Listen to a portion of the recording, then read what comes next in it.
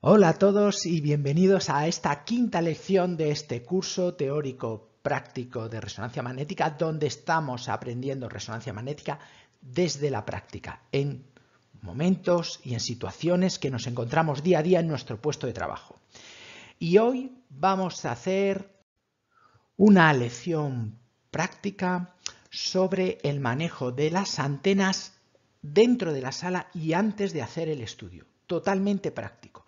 De hecho, al final del vídeo os voy a poner un caso práctico que me ha ocurrido justo la semana pasada y que lo hemos solucionado antes de empezar el estudio, con lo cual nos ha salido bien todo el estudio porque nos hemos, hemos sido capaces de anticiparnos a las dificultades técnicas que íbamos a tener precisamente porque habíamos colocado la antena de otra forma distinta.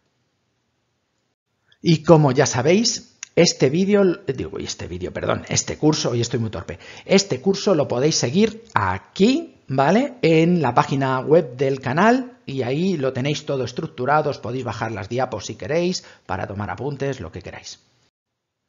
Y siempre, recordamos, nos lo grabamos a fuego, la imagen es un equilibrio entre señal y resolución. Y en el próximo vídeo, en el vídeo número 6, voy a romperos muchos mitos que tenéis de cómo conseguir señal, los NSAs, los promedios, los NEX, tal. Os voy a romper muchos mitos y muchos parámetros que estáis siguiendo para que creéis que os salen bien porque toqueteáis los parámetros tal, os voy a... Bueno, no os adelanto más. En el próximo vídeo lo vamos a ver. Bueno, las antenas. Todos nos han explicado que son bobinas que colocamos en el paciente para obtener señal. Bien, correcto. Pero no vale para un técnico en resonancia magnética. Esto no es suficiente. Vamos a explicar exactamente qué es una antena a nivel práctico para un técnico que está sentado en una máquina.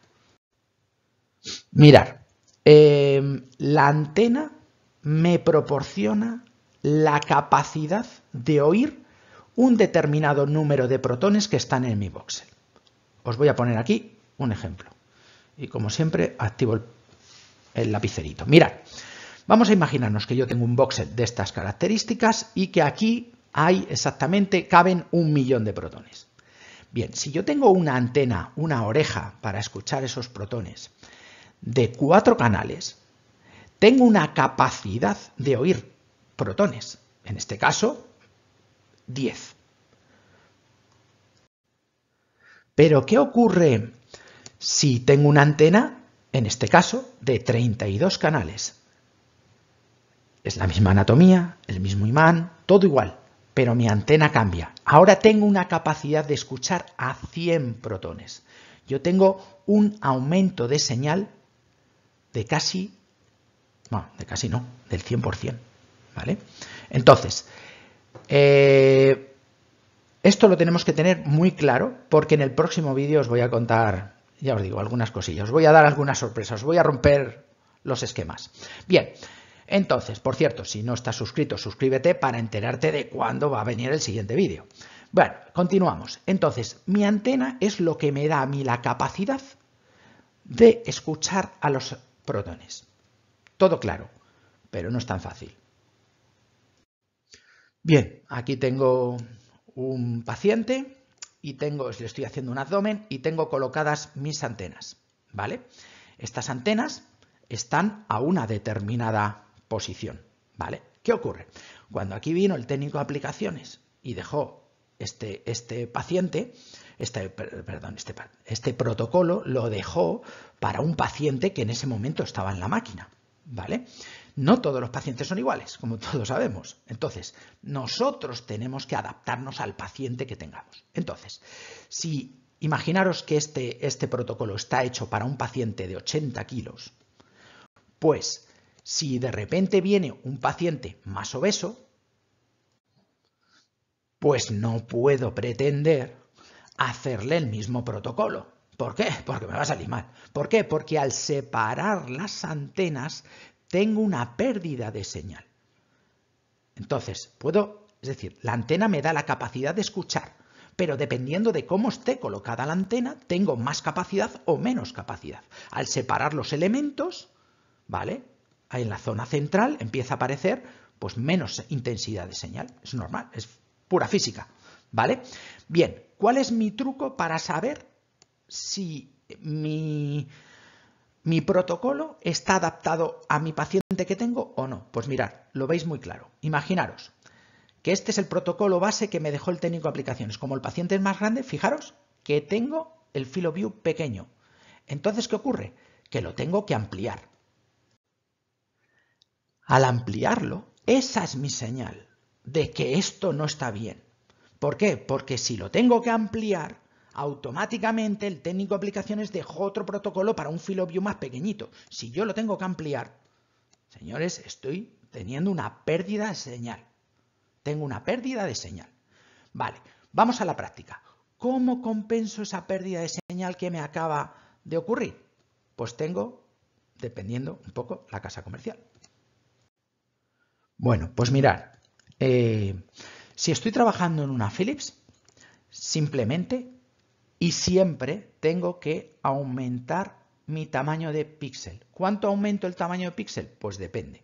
Si lo tengo que ampliar muy poquito, pondré 0,05 de aumento. Es decir, si estoy en 0,55 lo pondré en 0,6. Si estoy en 0,6 lo pondré en 0,65. Bien, si lo tengo que ampliar mucho, pues obviamente tendré que subir puntos en, números enteros, ¿vale? Vale, ¿cómo lo hago en General y en Siemens? Pues esto, como ya vimos en el vídeo, ya lo hemos visto en este curso, cuando tú en Siemens y en General amplías tu field of view, también amplías tu píxel. Con lo cual, en teoría, tendría que estar compensado. ¿Cuál es el problema? El problema reside cuando el, el field of view lo tenéis que ampliar mucho. Es decir, al ampliar el field of view tanto, perdéis eh, ganáis demasiada señal y perdéis resolución. Entonces tendréis que estar jugueteando un poco, pues con, como ya hemos visto, en la fase o en la resolución en fase, bueno, en Siemens en resolución en fase y en general con la dirección de fase. Tendréis que ir jugueteando para saber cuál es vuestro, al final, cuánto tenéis que, que subir. Esto, como, como os dije anteriormente en el curso, esto al principio cuesta un poco, pero en cuanto lo empecéis a usar en el día a día, esto lo empezáis a hacer de memoria, ¿vale? Es como el que trabaja en una discoteca y no se sabe cuánto valen los, los, diferentes eh, alcoholes que hay, ¿no? Los diferentes licores que hay. Pero cuando lleva trabajando una semana se lo sabe de memoria. Pues esto es igual. Probadlo y ya veréis cómo poco a poco lo vais haciendo de forma natural, de forma automática. Bueno, entonces, dependiendo del resultado que yo obtenga, tendré que modificar en mayor o menor medida. Por ejemplo, mirad, aquí tengo muy poca resolución, con lo cual tendría que bajar el tamaño del píxel, tendría que hacer el píxel más pequeño para conseguir una imagen de, de mucha calidad, vamos, de mejor resolución. Pero si yo tengo ruido, al revés, tengo que hacer justo lo contrario, hacer el píxel un poquito más grande, dependiendo. Vale. Entonces, esto ya sé que al principio puede parecer difícil, no lo es, de verdad, que yo he estado 26 años de técnico, como vosotros, en una máquina sentado. ¿eh? Os garantizo que esto se hace, porque yo lo he hecho y yo no soy aquí el más listo del mundo. Entonces, aparte de todo esto, cuando yo hago un protocolo, esto es un consejo que yo usaba mucho. Yo hacía un protocolo. Bueno, hacía, lanzaba un protocolo. Si en la primera secuencia empiezo a tener ruido o tengo una falta de resolución, yo en la siguiente secuencia lo solucionaba. ¿Me explico? No, lanzaba todo el protocolo con ruido o todo el protocolo sin, sin, resolución.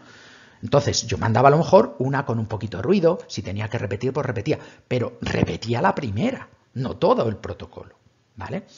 Y aparte de eso, claro, eh, tú puedes tener un protocolo y de repente te sale ruido. Puede ser por múltiples, eh, por la colocación del paciente, por la colocación de las antenas, como hemos visto, eh, la separación. Pero ahora también puede ser por la colocación de la antena, que esto nos lo va a explicar ahora Juan, un técnico del Hospital Puerta del Mar de, Cádiz, que, que, la verdad es que ahora nos va a explicar él otra, otro, otra cosita más sobre los, otra vuelta de tuerca, como se dice aquí en España, sobre eh, el tema de las antenas.